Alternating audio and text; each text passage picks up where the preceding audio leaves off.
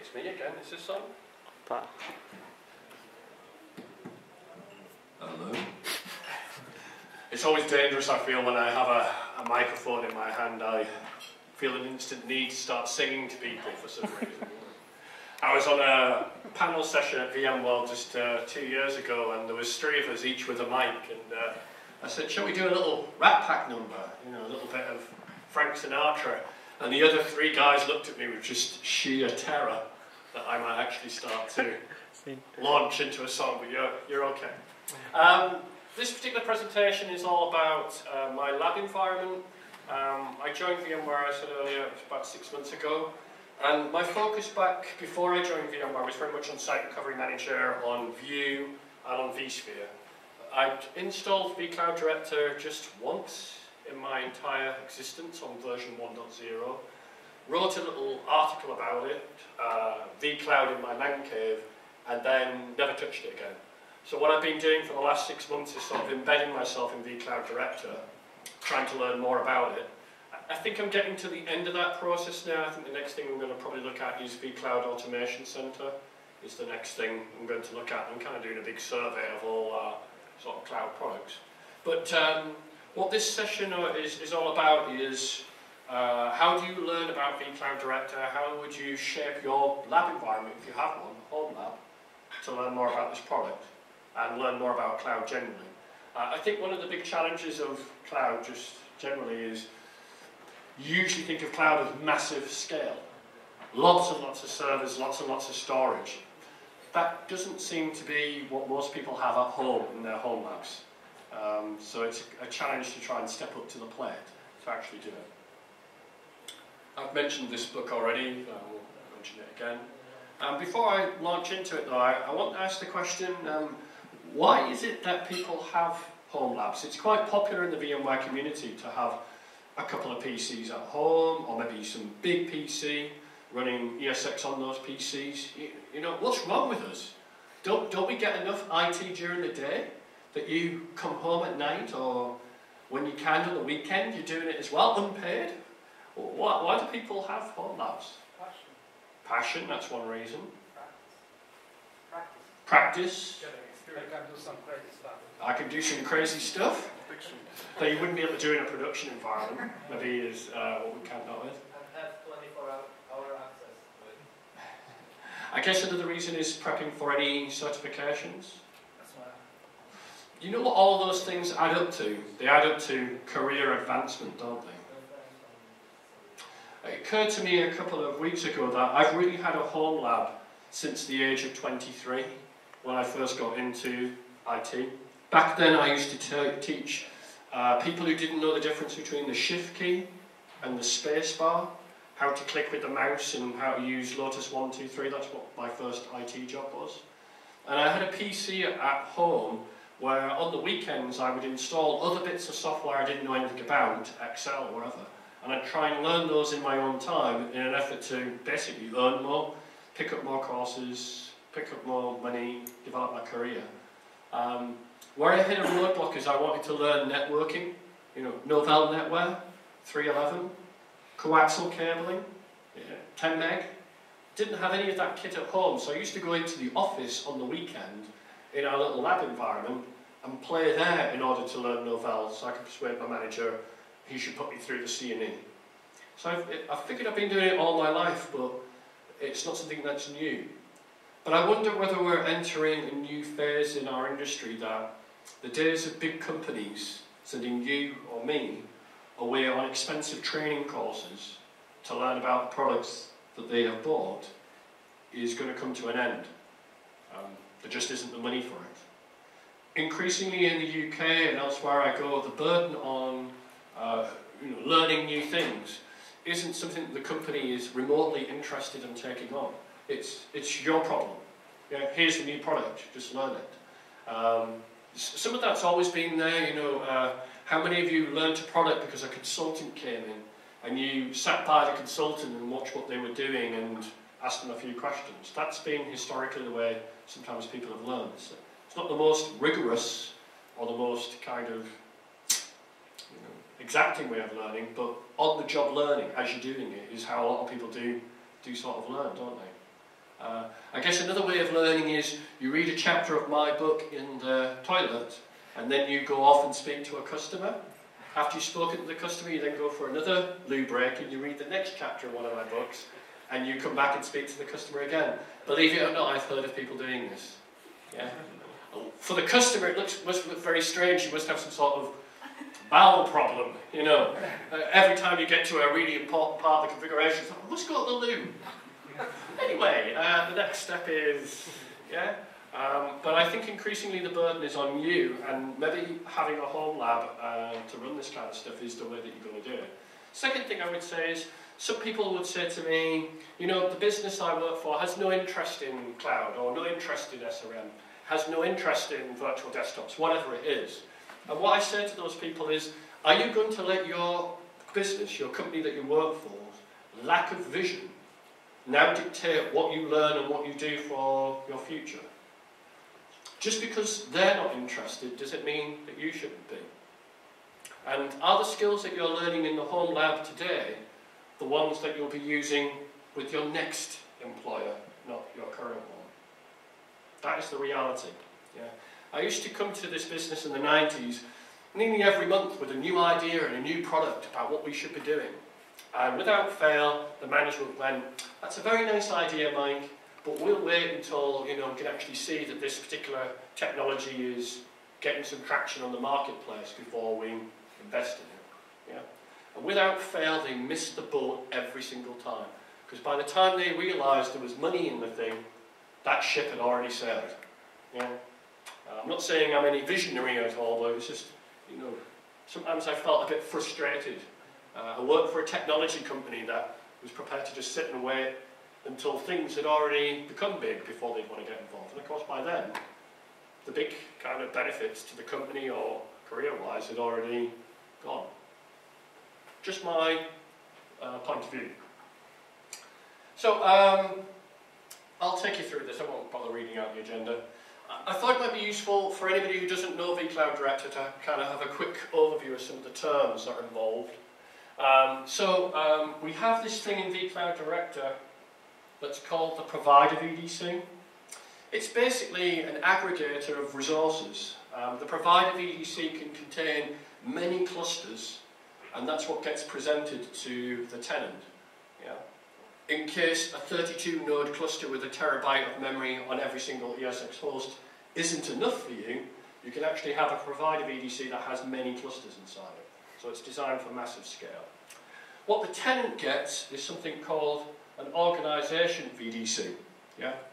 Much smaller allocation of those resources and they have no idea of the underlying vSphere, networking, storage layer at all. Completely abstracted. We have these things called pools of networks. Yeah? These pools of networks are pools of VLANs, pools of vCloud uh, network isolation pools, and nowadays pools of VXLANs if you want them. And we have this thing called, which isn't shown, a VApp network, which can connect to an organization network, which can connect to an external network, and then off to the internet. My, my joke about this in one of my blogs is it's a bit like that song, you know, the, the knee bone connects to the leg bone, the leg bone connects to the ankle bone. You know that song? No? Not heard it? It's all about the body, you know, the skeleton, you know. So I sing, you know, the VApp network connects to the organization network, the organization network connects to the external network, and the external network connects to the internet, and here, you know, anyway. it probably doesn't translate. But it, it's uh, different layers of networking that you can have. And VApp networks aren't mandatory, you could just connect to the organization network if you wanted to. You could even connect directly to the external network if you want to. So it's very, very flexible. You know, if you think distributed virtual switches and standard switches are very flexible in the way they're designed, you ain't seeing nothing else when it comes to vCloud Director and things like it.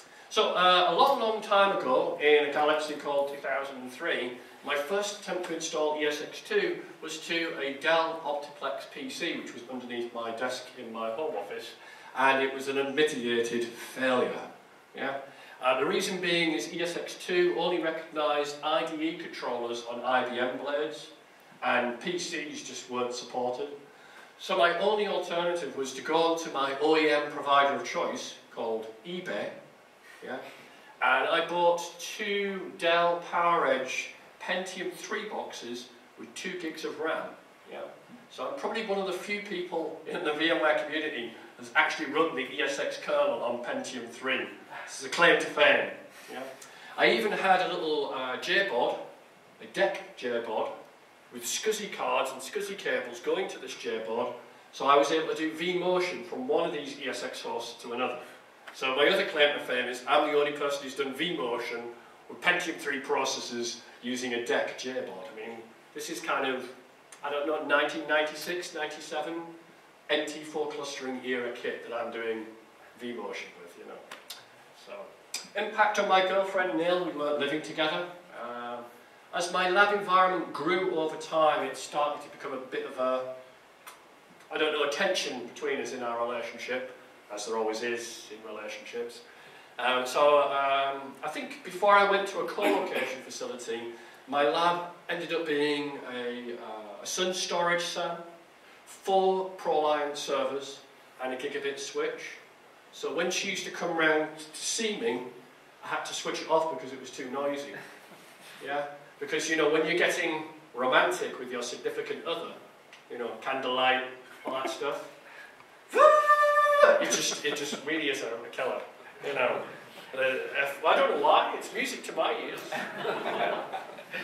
um, in the end, uh, things got so out of hand. I had to move to a co-location facility. I'm now at this place in the UK called Node 4. They have a number of locations.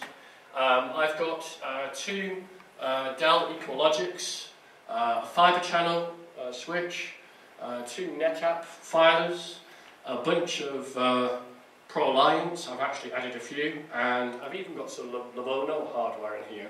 I used to have some uh, EMC NS120 and an NS30.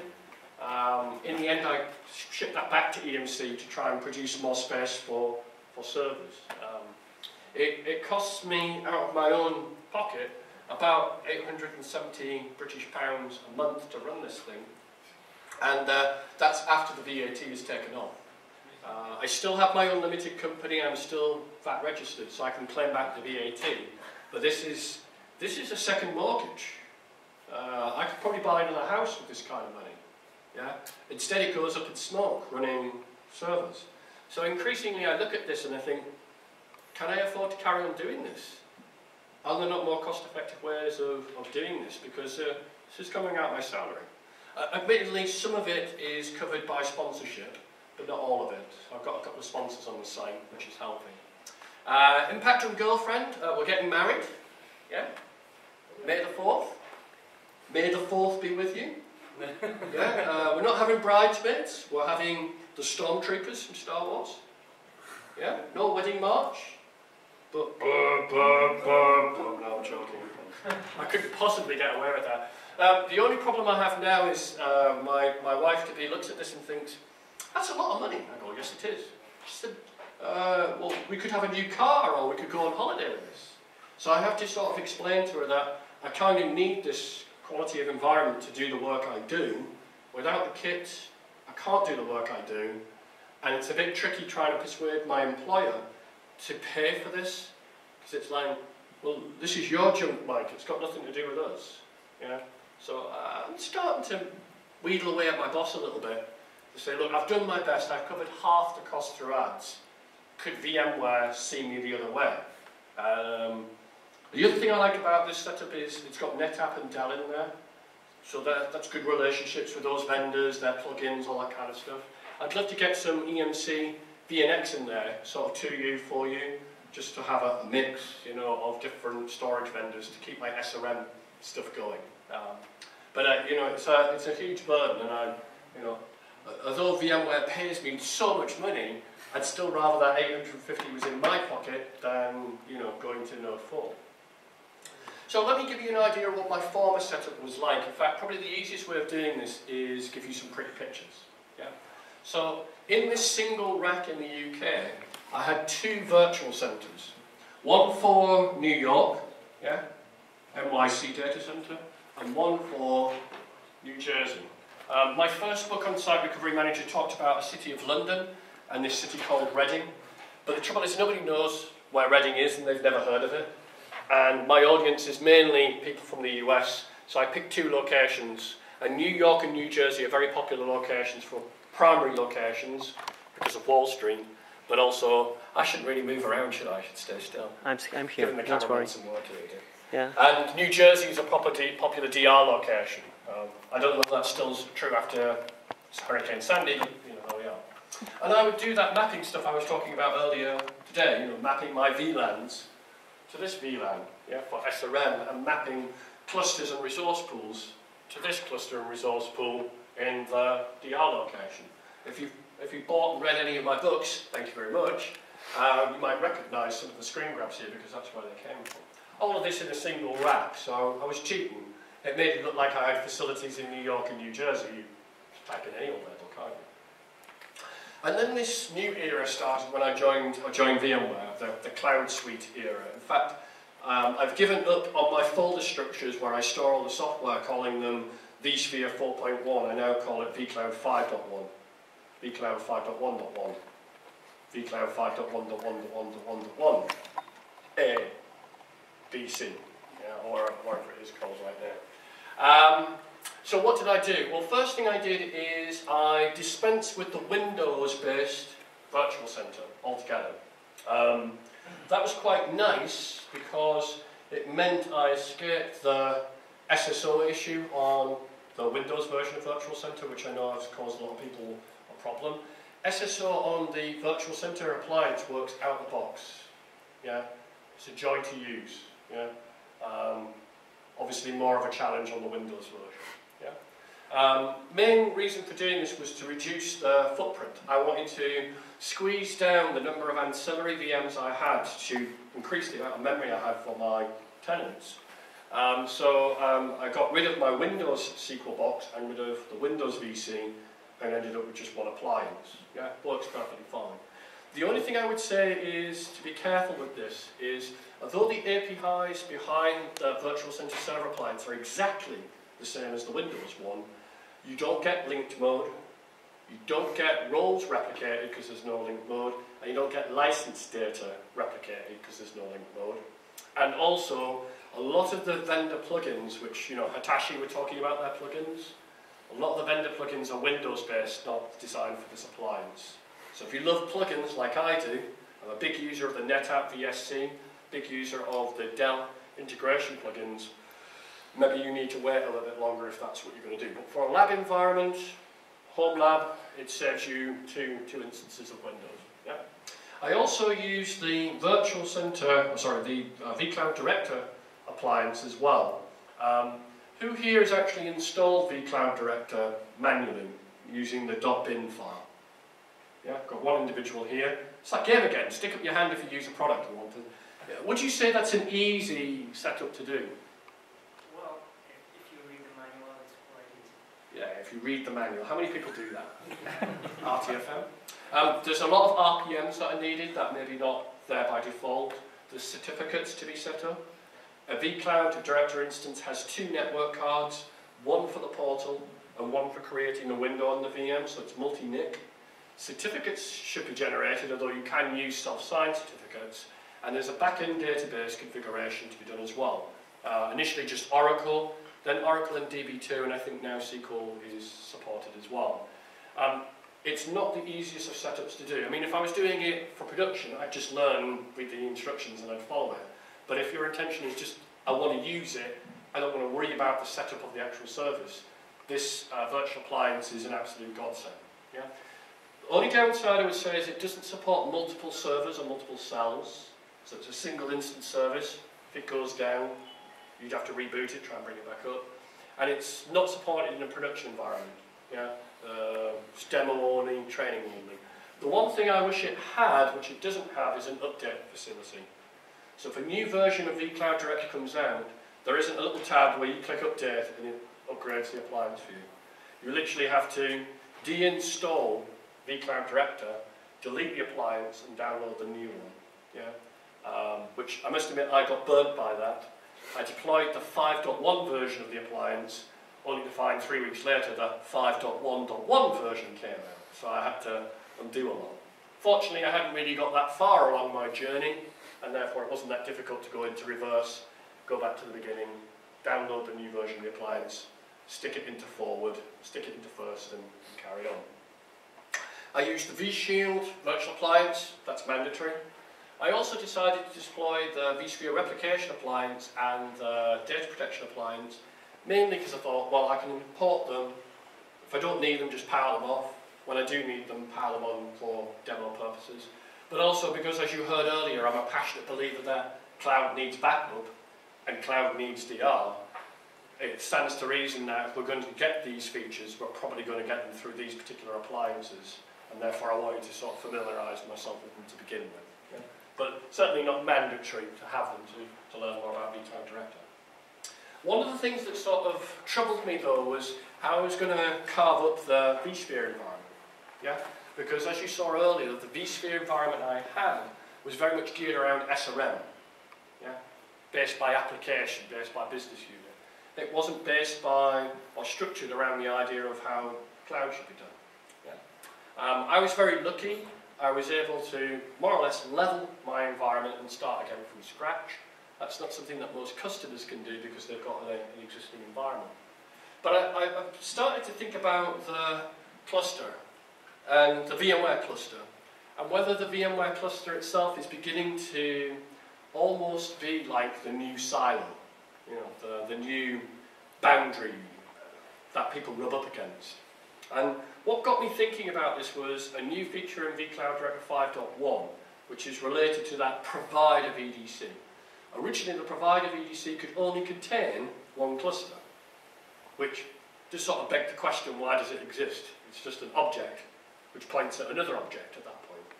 In 5.1, VMware allowed us to have many clusters added to one provider VDC, which obviously kind of makes more sense because it then becomes that kind of aggregator.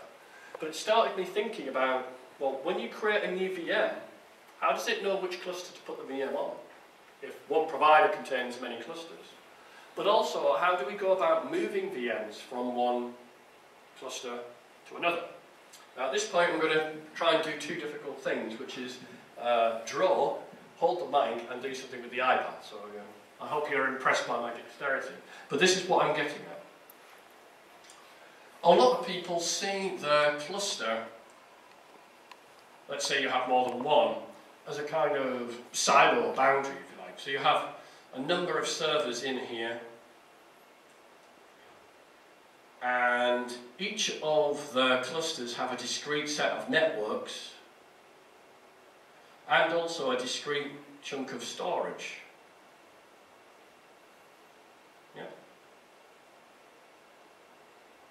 Why do we do this? Why do we partition out, if we have multiple clusters? I mean, in fairness, some of you might only have one cluster, so uh, it's a bit of a silly question to ask. But for those of you who have multiple clusters, why, why do we do this? Different hardware. Yeah, this, this could be Intel. This could be AMD, couldn't it? That's one reason. Any other reasons? Licensing. So you might have Oracle licensing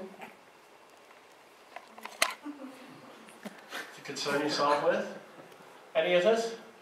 Separate fault domains. Fault domains for different business units. Or this could be test. And this could be prod, for argument's sake. Or business unit 1, business unit 2. Out of curiosity, does anybody have a LUN which is visible to both clusters at the same time? Stick up your hand if you do that. Yeah, it's interesting. If you're not, look around if you, if you there's a number of people, keep your hands up please, keep your hands up. So there are a number of people who are, who are doing this. Can I ask, why is it that you have this swing LUN, as it's sometimes called? If, if we have this boundary between one cluster and another for reason, why, why is that LUN there? So to uh, share the resources between different versions of this square. So mm. you can present data store to the ESX 4.1 mm. and ESX 5 at the same I've got LUNs like this, so it means one of my VMs can be moved from this LUN to this LUN to this LUN and then moved into a different cluster. Yeah.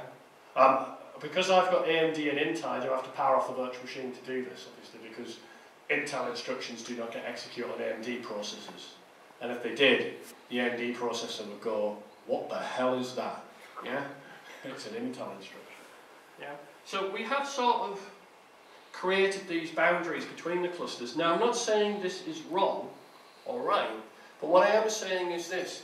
Isn't it interesting that we as virtualization people who want fluid workloads, yeah, all that kind of stuff, have created these boundaries that are essentially based on hardware, different LUNs, different VLANs, different network switches on different servers. Isn't that ironic? This vision of the software-defined data center that we as a community have used hardware tools to create these sorts of boundaries. Yeah? And that's the tension I felt when I was getting into this vCloud thing. Part of me wants to do away with the silo mentality, um, both for politics reasons, but also for flexibility of moving workloads. But part of me has a foot in the old world as well, where I want to keep things separated and, and control them. Can't I use software tools to do that kind of partitioning? Do I have to use hardware-based tools to keep things separate? Isn't that the bad old world? Am I trying to get to this nice new world where everything's just softly partitioned because it's more flexible? I'll say no more. Yeah? There's a gap between our vision and what people actually might do. So this is what I ended up doing. I created two clusters, gold and silver. Yeah? No New York, New Jersey anymore. Gold and silver. Mainly because the ProLiants are AMD based and my Lenovo servers are Intel based. So there's an interesting point straight away. Even if they'd had exactly the same amount of memory, exactly the same hardware profile, I would be forced to keep them separate because of the CPU difference. And I thought how revealing that is. Maybe when you come to deploy vCloud Director in a production environment, you have this uh, abstract vision of how you want to dole out your resources, and then you hit up and rub up against the physical world and the physical limits. Yeah? Uh, maybe you're forced to keep things separate because you have absolutely no choice. It was interesting that uh, when I asked why do people silo, the first answer was because of hardware differences. I forget who, who said that. I thought, yes, because that's what I have to do. Yeah. So um, I ended up with one site, two clusters, AMD and Intel. I do have this thing called the infrastructure resource pool. Um, this thing here. Inside the infrastructure resource pool is my virtual center, my domain controllers, my vCloud director, my vShield manager. One of the things that's recommended if you're using vCloud Director is a dedicated management cluster, separate and discrete from the resources that the tenants are consuming. But in a home lab, you probably won't have that luxury. You'll have to run your management layer on the varying cluster that your tenants are using at the same time. So as a precaution, I created a resource pool, set high priorities on them, and did memory reservations to make sure that whatever happened, if I said deploy a million VMs to four ESX hosts, at least the management layer would still give me control again. That has some interesting consequences when you first set up vCloud Director, but more of that a bit later. Um, my goal was to maximize the resources, hence using appliances where possible. Yeah.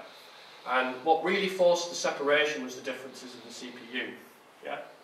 Um, there were other resources that were in my mind as well. The AMD ProLiants are actually older than the and don't support vLockstep or VMware FT or any of those fancy features, but they do have more memory. So I was sat there thinking, well, the Lenovos have less memory, but they have more modern CPUs with more attributes. But the AMD servers have more memory, but fewer attributes. Which one matters to me? In the end, I decided that the more memory really mattered. VMware FT only allows you to protect up to a maximum of five VMs on one cluster, five primaries. That's hardly cloud scale, is it? You know. I'd have to say I can only have five tenants and you can have one VM protected. I mean, it's just not worth thinking about. Yeah? Unless it scales up to hundreds of thousands, what really matters is the memory. As it always has done in the world of virtualization, as it always has done in your home lab, it's memory, memory, memory every single time that you run out of, isn't it? Not CPU, not bandwidth, not even storage sometimes, but just pure RAM. Yeah. So the next thing I looked at was storage. Yeah. Um, I have a number of kind of infrastructure data stores. Yeah. And I also have my templates and uh, software data stores. The local storage I'm not really using just yet, but I might use later on with vSAN and distributed storage. And then I created four tiers of storage. Yeah? Platinum, silver, gold and bronze. Yeah? You'll find this funny. Initially I started off not with seven tiers, but 14 tiers of storage. Yeah? Literally 14 different layers of storage. Yeah? And the first tier was replicated every five minutes. And the second tier was replicated every 20 minutes. And the third tier was replicated every hour. And on it went. Um, some of it was SAS, some of it was SATA, some of it was on NFS, Some of it was Ice Cuzzy. Some of it was the MFS. I created this wonderfully complicated engineer's view of all the different ways storage could be presented on a piece of paper. And then I went, stop. Yeah? I'm making this far too complicated for the consumer of these resources. And the analogy I used for this was like when you come to buy a new mobile phone, I don't know what it's like here in, in Poland, but if you go to the UK and you go into, I don't know, Vodafone shop, and you say, I want a new iPhone, what tariffs do you have? The salesperson will go, we've got this very simple card that explains all our tariffs. And then it goes like this. Yeah, as it folds out. Uh, like the way the comms providers show their tariffs is so complicated, it makes it almost impossible to compare Vodafone to another vendor. It's, I think it's deliberate, because the customer just looks at them and goes, that one, yeah? Or whatever the salesperson says. But isn't the point of cloud meant to be simplifying the way resources are consumed? If we offer 26 different tiers of storage, whoever's creating those VMs is going to get that list of 26 and then go, which one should I use? The one with the most free space? we're back where we started, aren't we? Yeah? So um, I, I, had to simplify it. Um, Platinum turned out to be NetApp with fi uh, fiber channel connectivity, SAS, SnapMirror enabled with replication. Gold was um, Dell, iSCSI, SAS again, um, replication one an hour. There really isn't that much difference between my NetApps and the EqualLogics. The difference is, is my fiber channel pipe is 2 gig, but my uh, iSCSI and NFS pipe is only 1 gig. That's really the only functional difference between them. Silver was NetApp on NFS and SATA, and so was the Dell. I deliberately put the Dell at the bottom of the list, not because I don't like Dell, but what I don't like is people seeing NFS as a kind of substandard, sub-quality storage system. There is this kind of mentality that exists both in storage land and within the VMware community that somehow fiber channel storage is the racehorse of storage, yeah? and that uh, iSCSI is the pony of storage, and that NFS is the knackered old donkey on the beach kind of storage. Yeah? And I think this is wrong. Um, I defy anyone to show me that a 10 gig connection through to an NFS filer, say from NetApp, is any less performant than Fibre Channel. Yeah? The differences are in the attributes. Do you want VMware's file system, VMFS, or do you want NFS and some of the attributes that it has? I think try and suggest that fibre channel, because it's photons that travel at the speed of light, is somehow superior to Ethernet is a bit crazy in the world that we now live in. Yeah? So I deliberately would not put NFS at the bottom of the list. I, I tried my best to try and put it at the top of the list by any. The other thing I did was enable vSphere replication. And here's why. Oops. excuse me, I obviously have two SAS-based arrays from two different vendors. That's not meant to say SARS, it's meant to say SAS.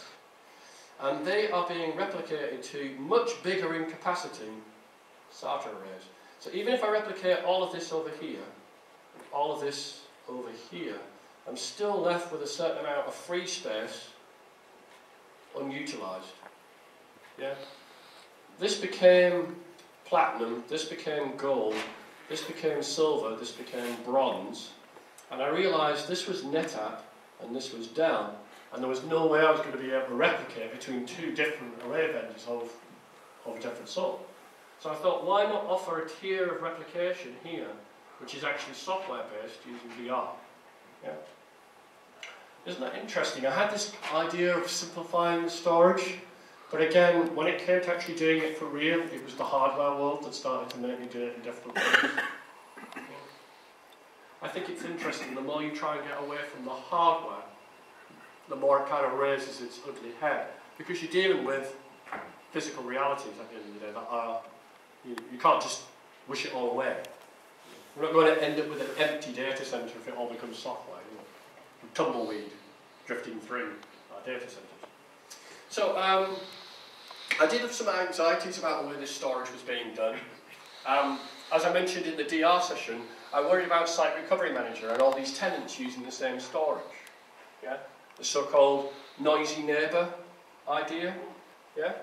If you think about it, go back to my little uh, PowerPoint slide here. If I've got uh, tenant A and tenant B, both using the same provider, which is presenting the same storage, doesn't that mean a guy here could generate a lot of IOPS to this volume, which would affect one of my other tenants? Yeah? Wouldn't I get worried about the performance impact when they're sharing the same storage? It's like, I don't know, my SQL admins share the same data store as my Exchange guys. It's the same kind of tenancy issue where you have those mixed together. Yeah? The trouble is, is if you start thinking that way, I realise this, every organisation I would create would get its own gold, silver, bronze and whatever storage card out from the array that was unique to it. And so if I had four tiers worth of storage and 10 tenants, that would be 40 LUNs for me to create and also set up the replication. So I was back at that, being the engineer, wanting to design the perfect system from an engineer's perspective, but then it becoming more complicated than I really wanted it to be. And I think that's the heart of any cloud work with virtualization. You want to make it simple, but at the same time, the engineering you wants to make it complicated because the engineering you thinks about all the complexities of trying to design the perfect system where nothing could ever possibly go wrong. Um, I think these sorts of challenges would exist even if you weren't using VMware software. Yeah? That's why I think this is important because it could decide, you could decide to go somewhere else for your virtualization and your cloud, but these problems are not going to go away because they're fundamental to this way of thinking and, and operating. The question is, is which vendor helps you satisfy both at the same time or helps you make a compromise between the two. I personally think it's VMware, but I would say that I'm paid to. From a network perspective, I ended up doing this. I created a uh, infrastructure distributed virtual switch and I created a virtual data center virtual switch. All my tenants are here whereas the vSphere layer is here. And there's two network cards that back each of these distributed switches, and they are actually uplinked to totally different switches. The infrastructure layer from vSphere is plugged into a Dell PowerConnect switch that I got given to me when Dell, they didn't give me, they lent me the EqualLogics, but they've never asked for them back, so make of that what you will. Um, the uh, virtual data center DV switch goes to a 48 port Netgear that supports about 60 odd VLANs.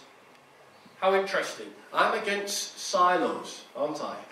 But what I've done is taken two separate network cards and plugged them into that switch, and two network cards and plugged them into a totally different switch, and then I've linked them again, so I can actually manage one from the other. So the very man who was arguing a moment ago against the bad idea of the silo kept it separate.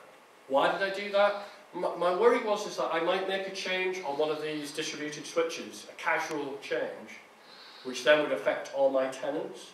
Or I might do something in vCloud Director where I hadn't really engaged the brain, which would then affect my underlying vSphere infrastructure as well.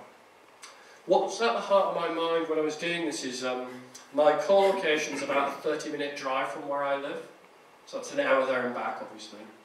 And my remote access into this lab environment is through VMware View. Yeah? Guess what ESX host it runs on? The same ESX host I offer up to my tenants.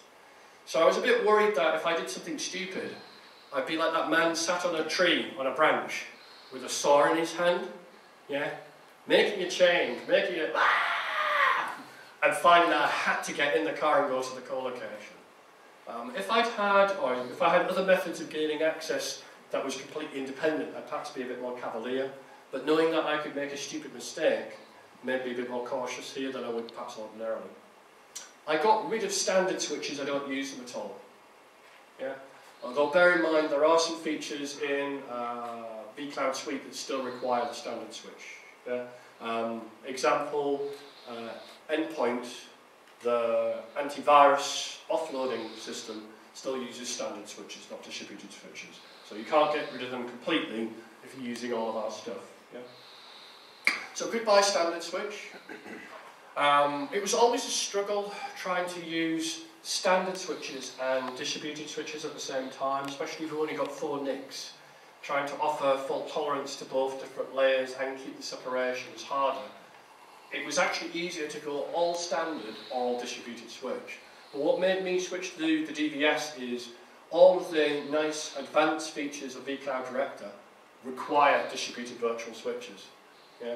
Uh, it's essentially a product that requires enterprise plus licensing to get the most out of it. I'm not saying that you have to, because you can actually run it on different SKUs, but you lose quite a bit in terms of features. Yeah?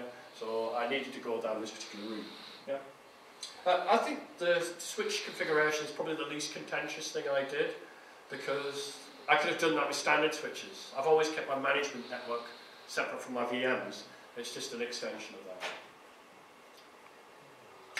So um, I guess I had the same anxieties about networking. You know, I've got tenants sharing the same networking, but my experience, even if you're only one gig in your environment, you very rarely use 10 or 20% of that. About the only time I've seen gigabit environments really heavily utilised is when you do vMotion or if you're using iSCSI. So as long as you put them on separate NICs, it doesn't really affect performance. But my main worry is about fat finger syndrome, where I might make a change and then screw things up. That's what made me keep it separate. So some lessons learned. Yeah? When thinking about the provider VDC, don't just think about the compute, memory. Think about all the resources, compute, storage and networking. What does that cluster offer? And you'll have to weigh up whether the storage access is more important than the amount of memory that you've got available. Think of the cluster as a, a whole. Um, my gold uh, cluster doesn't have any FT. I decided that FT was simply not important to me. Yeah, made the compromise. If you are um, installing and using vCloud Director for the first time, 5.1, 5.1 assumes that you've gone through the vSphere setup for VXLANs. If you haven't and you create a provider VDC, you'll get red exclamation marks in the pools area as it tries to find your VXLAN configuration in vSphere, which isn't there. Yeah? It's not the end of the world, you could just ignore the little red exclamation marks. But if you're a fan of green ticks, rather than red exclamation marks, and let's face it, we all love green ticks in our world, then go through the VXLAN configuration first before you do anything with vCloud Director and you'll have a smoother experience, especially if you're doing demos. The other thing I found is the v, uh, VCD ESX agent. When you create a provider VDC for the first time, you select a cluster and then vCloud Director puts the uh, agent on every ESX host for vCloud Director. Yeah? It does this by putting every single ESX host in the cluster into maintenance mode at the same time. Okay. So let's say you've just got one VM powered on in the cluster. Every ESX host gets put into maintenance mode at the same time. what will happen? What happens if every ESX host is in put into maintenance mode, but you've got one powered VM still running on the cluster? What will happen? Second host won't go to the maintenance mode until the machine will be Well, what happens is, I'm sure you've all seen this, it goes to 2% and then it sits there. Because once every ESX host is in maintenance mode, there's no place for DRS to put that VM anymore, is it? Because that's what stopped. When you're in maintenance mode, you can't do a vMotion anymore. Now, I think whoever wrote that bit of software assumed that your cluster would be blank and have no VMs on it, or they would be all powered off. Now, in my lab environment, because I didn't have a dedicated management cluster, that wasn't the case. My domain, controllers were still switched on, my virtual center was switched on, and of course, I needed vCloud Direct to switch on to actually do this in the first place. Yeah? I think that has some interesting consequences for people who are trying to roll out vCloud Director in an existing environment that isn't blank. Yeah? Now, it's not the end of the world. Weirdly, what happens is some of them go into maintenance mode so quickly, get the agent installed, and then out of maintenance mode that the install is successful. But one of the two of them fail because there's a VM that it can't move off quick enough. So you're left with, I don't know, 10 ESX hosts. Eight of them were successful and two of them have an error message. It's not the end of the world. You right-click the host in vCloud Director, say prepare for vCloud Director. Because the others are out of maintenance mode, the VMs get moved off and the agent gets installed perfectly fine. But as a, a first-time experience to somebody who's new to vCloud Director, it's like, oh, this doesn't work. Yeah? And I guess what might have been nicer is if the system knew there were already VMs on the cluster that were powered off, why not do two at a time or one at a time until all of them were done, yeah, rather than trying to do all of them simultaneously. Yeah. It, it strikes me that the person who wrote that bit of you know, software had a blank cluster and therefore has never seen this error before. But I had the experience straight away. So more lessons learned. Get your VLANs sorted before you use them in VCD. Now, I'll fess up here. In my books, I've written about uh, VLANs, VLAN tagging, and I've done it in production environments. But my own home lab doesn't have VLANs. It was just a flat network. Yeah. Um, it was only when I got into vCloud Director that I decided I really need to VLAN this up now because VLANs are so heavily used by vCloud Director. A single flat VLAN zero network wasn't going to work for me. So I, I did this thing. On the physical switch, I created VLAN 11. Yeah. On the virtual switch, I created a port group with VLAN 11. And then in vCloud Director, I created an external network that used VLAN 11. Everything was fine. And then I thought, you know what, I really don't like 11 as a number. Yeah, uh, I find 10 a nicer number. So I'll go back to the physical switch, make it 10. Go back to a virtual center, and back to vSphere, make it 10. Refreshed vCloud Director, it said 10, but actually that was wrong. In the database, vCloud Director still thought it was 11, when actually it was 10. The UI was lying to me. Yeah? The database said something else. Then when I went to use VLAN 11, it said, I can't do this. It's already in use. But it wasn't on the physical switch and it wasn't on the virtual switch. It was buried in the database. So I asked my colleagues, what do I do? And I was given two choices. I could either use Oracle tools to edit the database to remove the duff entry. Given I know nothing about Oracle, I was a bit not too sure about that. Or I could delete the original network, add it back in, and it would fix the error in the database. Yeah? If I hadn't been so casual about my, ooh, uh, let's make it VLAN 11, maybe I wouldn't have faced this situation.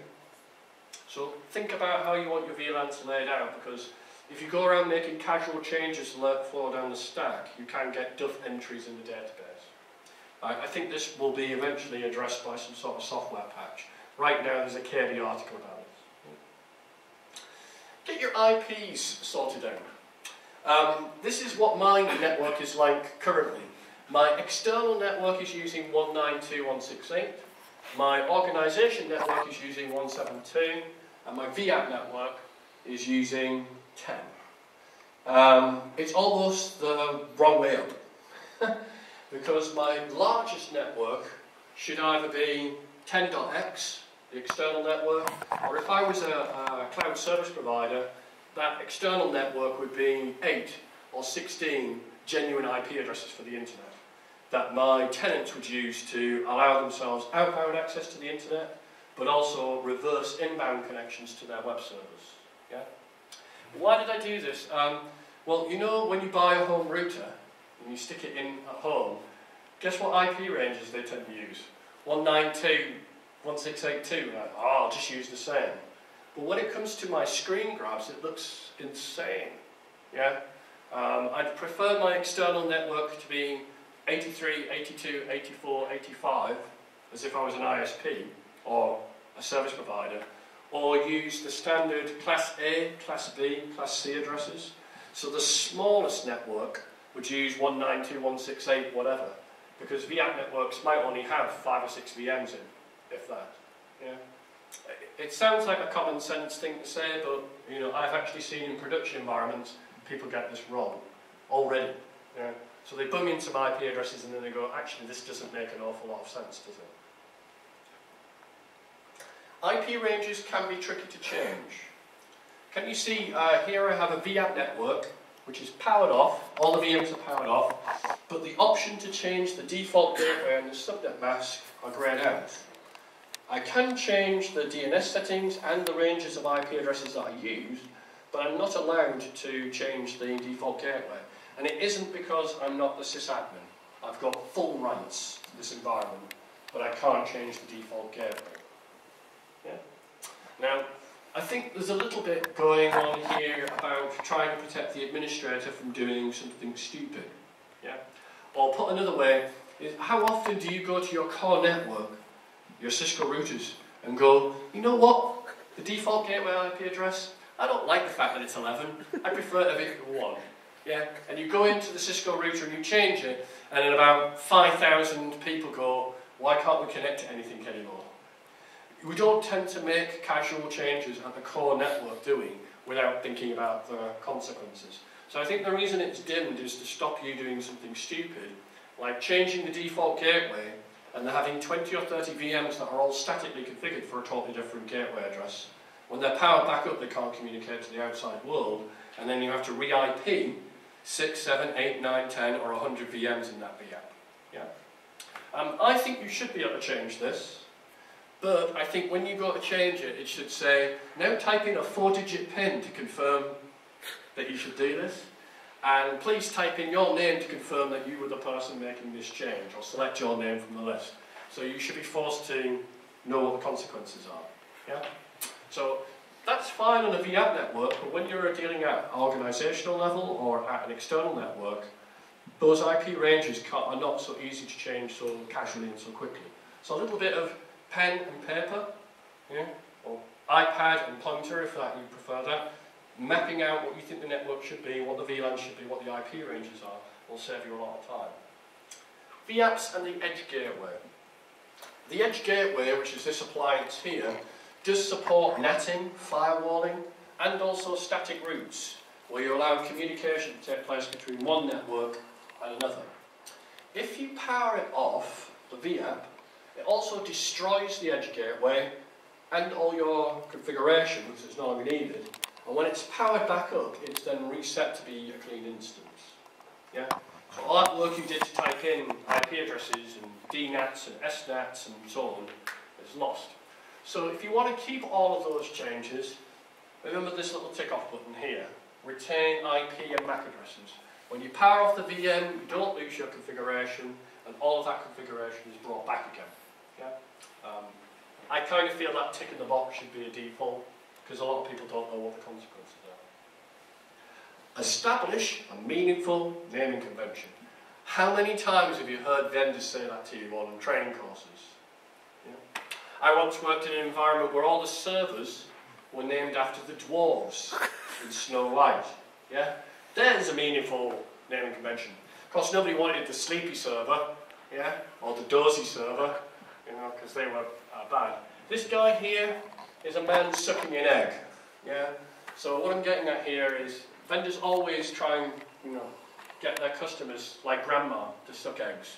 They tell them the absolute obvious, and you all sit there thinking, yeah, yeah, I know, I'm meaningful naming convention. But the reason we bleat out about this so much is you'd be surprised how often it doesn't happen. Yeah? So I've got an example here of where I've used a consistent naming convention throughout the process with a path ping. Yeah? From one VM in one vApp in one organisation to another VM in another vApp in an entirely different organisation. And what that allows me to do is troubleshoot whereabouts the network comms is failing. So a VM here in the organisation called COIG, COB Overseas Investment Group, yeah, is communicating by its IP address across its own um, vApp network. It then goes across its own organisation network, this third IP address, and then travels across the external network down into the organisation network of Corp HQ. Yeah? Across the vApp network for the uh, web-based VAP until it arrives at the web destination. If any one of these just stopped, I would know at least whereabouts in that communication I had a misconfiguration or a failure of comms. Yeah? As soon as you don't have the naming convention, what you have is a bunch of IP addresses and you sit there thinking, well, which ones it is. Because vCloud Director has pools of IP addresses that are just automatically assigned and then taken back when you no longer need them, the days of us knowing, yeah, 172.168.5.15 is the web server, is kind of going. Because I bet some of you actually know the IP addresses of a lot of the nodes on your network, don't you? Yeah? You are very sad if you But I used to be like that. Oh yeah, it's 1, uh, 192.168, 100, you know, I know it's that particular node. But in this new world where networks are created, destroyed on demand, IP addresses are grabbed from pools, handed back to the pools. Are you actually going to know all these IP addresses anymore? Perhaps not. Maybe the core ones for the core network that never changes. But in this more dynamic world, I think having a good naming convention is going to save you a lot of time. And I'll stop going on about have a meaningful naming convention. OVFs, the Open Virtual Machine format. Are they as open or portable as they could be, or we think they are? Have a look at this error message here. A virtual system in the OVF file is being uploaded requires an unrecognised virtual hardware version. What is a virtual hardware version in the world of VMware? What, what are VM hardware levels? Somebody know?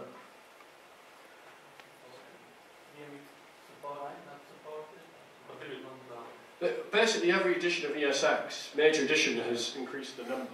So we're currently on hardware level 9. Yeah, yeah.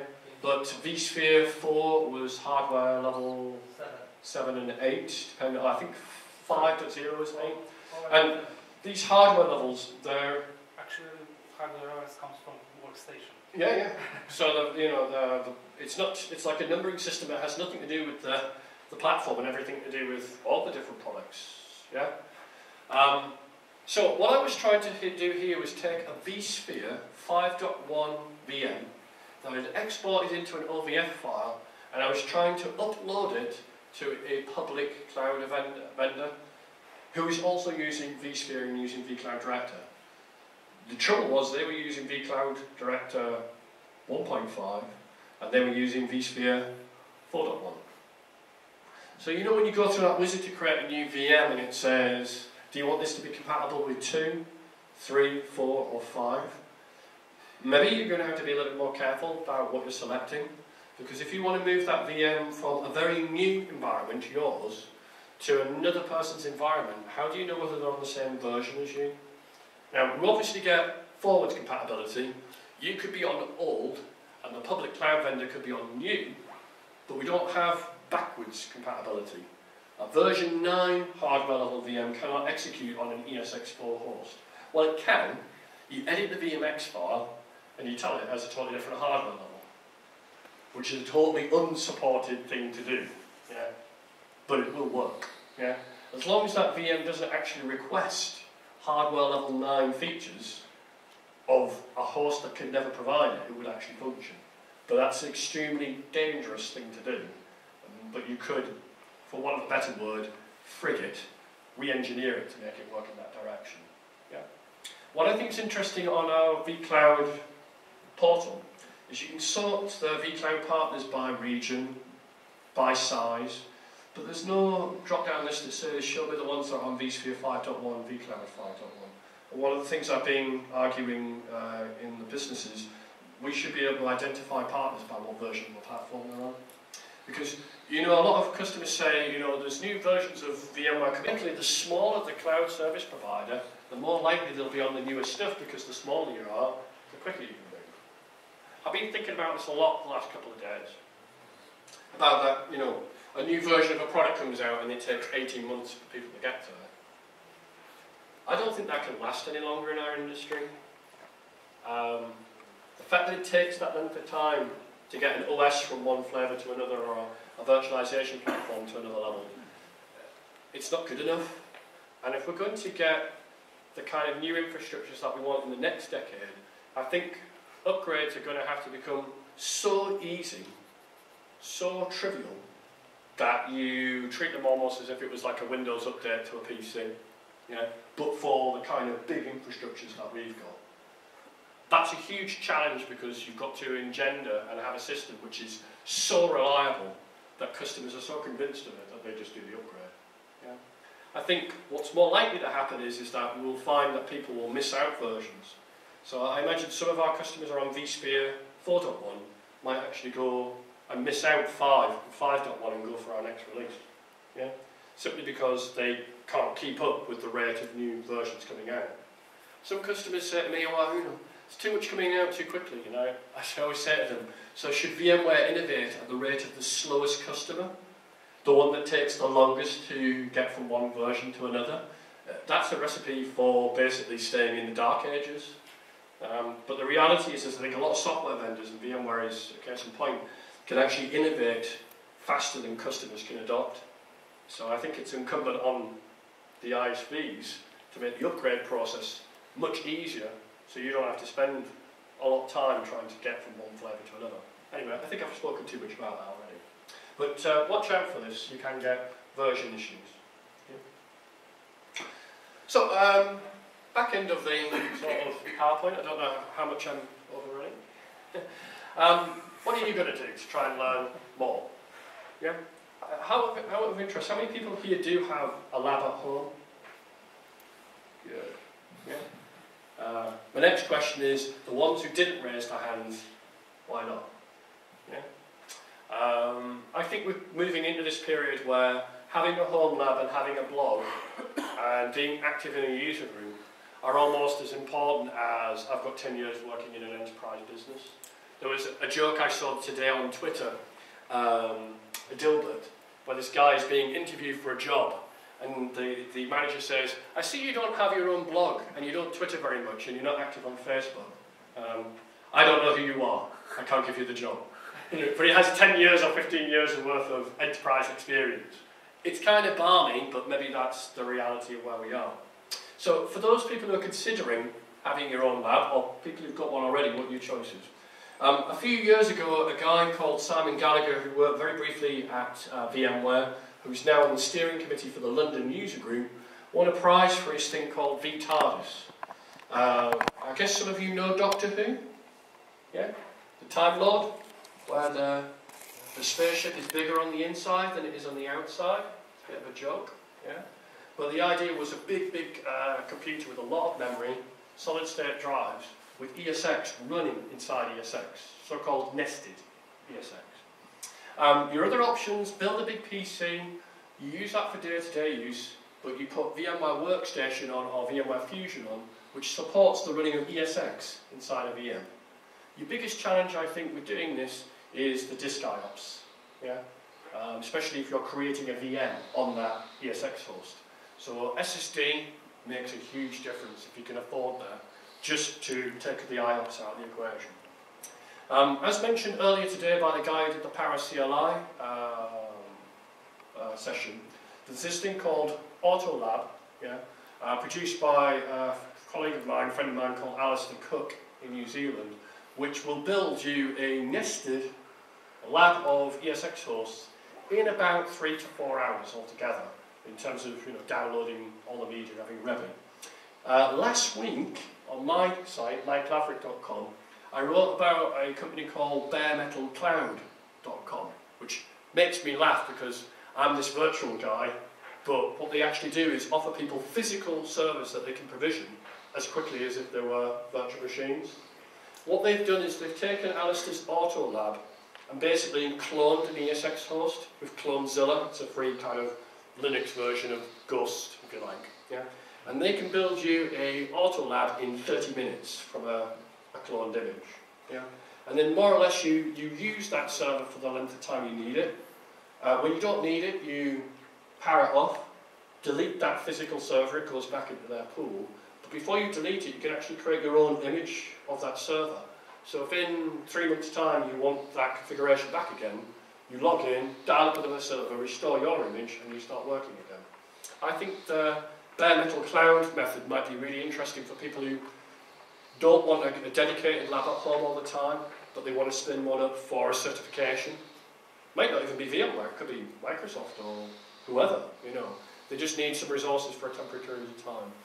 Um, the bare metal cloud people very kindly offered a hundred $100 uh, vouchers, of which I think there's about 40 left. So if you're interested, head off to my site, look for Bare Metal Cloud.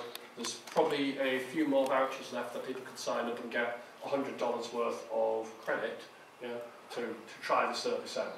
Yeah. Um, the other option is to carry on having physical kit at home. One that seems to be very popular is the HP microserver, which is, it looks like one of these NAS boxes, you know, about square, yeah, usually filled with SATA drives. Technically, they're only supposed to take 8 gig worth of RAM, but if you use Kingston memory, Simon Seagrave of techhead.co.uk found out that you could get 16 gig worth of RAM into one of those little boxes. The next big question, I guess, is what will you do with storage? Will you get a $50 Iomega storage box, uh, FreeNAS, or even OpenFiler as a way of doing the, the storage. So you could stay on physical and not do any nesting at all. Yeah. So the, I'm trying to give you some ideas of if you've not got a home lab, what you could do. And then there's this other idea that I have, which I've labelled the Inception. Uh, anybody seen the movie Inception with uh, just blanked us in? Yeah, DiCaprio, where they're in a dream, in a dream, in a dream, and they have to have something uh, with them on hand to remind themselves that they're in a dream. Yeah, so a little token. So this is just a dream. I decided to pick the silver foiled unicorn from Blade Runner. Yeah, so when I was uh, in my V Inception lab, I would hold on to this thing going, none of this is real. It's all virtual. But what I'm getting at is the possibility that we have inside vCloud Director ESX running inside a virtual machine with the Virtual Center server appliance. And then when you log into it, it looks like any other Virtual Center environment, except it's actually not a physical box that you're seeing, but yet another virtual machine. Yeah? I've even had this idea that these levels of inception could have different numbers. Yeah? So level zero is the physical world with vSphere. Level one is vSphere running on vSphere. And level two is a VM running on vSphere in a virtual machine on vSphere. Yeah? So that's the dream, side the dream, inside the dream. Wouldn't it be great if one of the vCloud service providers actually offered this as a service? Yeah? So rather than going to bare metal cloud, you go to iland or Terremark and dial up a home lab. What I'm talking about is something that VMware has been doing a while in the hands-on labs at VMworld. Yeah? So if you've ever done labs at VMworld, a lot of that stuff is all just virtual. Yeah? Um, the network target they use for storage is FreeNAS in that environment. Probably the biggest challenge I would say with this sort of level of nesting is the IOPS that come from disk. What, what I did in my vInception lab is I created a network directly to the storage layer. So although the, these uh, ESX hosts running in virtual machines, when they write to storage, they're actually writing natively to my NetApp files and my projects, which means I get all the benefits of VAAI and VASA, all the offloading, so the performance is actually pretty good. Yeah. Um, what I've been trying to do is convince some of our vCloud service providers to do this. I think some of them look at it and think there's a lot of work to be done. But my, what I'm trying to do is convince them that if you as an individual dialed up a home lab with iland and you had a good experience, the next time you decide, hmm, I want to use vCloud Connector to move VMs from my private cloud into the public cloud, maybe you go back to iland because of your initial experience with them. So do it like a, a leader, a kind of a way of bringing customers in. I haven't had much success in, in convincing them to do this, but maybe that will happen. So uh, my future, new servers, more servers, a memory upgrade. Do I stay where I am in the co-location? Do I carry on just paying there? Do I try and get my employer to pay for it? I think um, the chances of getting my employer to pay for me for hardware that sits in my facility is quite small. But if I could go back to my manager and say, I want to spin up this remote lab environment in the cloud, and the monthly cost is $25, maybe you would agree to that? And if I could say to them, and that's $24 for the next six months, and after that we terminate the subscription, maybe he would approve that. Maybe my corporate credit card that I have from VMware, maybe I could just use that to get my lab environment. Maybe I would get into trouble doing that. I have been videoed, of course. Hope my boss doesn't see this.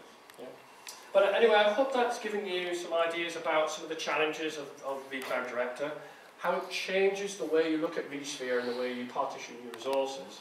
And I hope I've given you some ideas, if you don't have a home lab already, what your options are. If you do have a home lab, what I would suggest to you is the days of knowing just ESX and Virtual Center and that being enough for you to have a future career or job security, I think is closing as a window. Yeah? Us as a community need to move on. We need to move on to other technologies like View, like Site Recovery Manager, like vCloud. Yeah? Um, pretty quickly, the vSphere virtualization skills are going to be commoditized. Yeah? It's a bit like what happened to Microsoft VCPs. Years ago, that VCP was worth a lot, but the more VC, uh, Microsoft certified professionals came along, the more devalued that qualification became. Already seeing it now with the, the VCAPs, the advanced certifications, and the certifications that are particularly at desktop, particularly at cloud. And that's the direction I think we need to, to go in. Don't rely just on ESX and Virtual Center. You need something on top of that, I think, for the future. But thanks very much. Thank you for your time.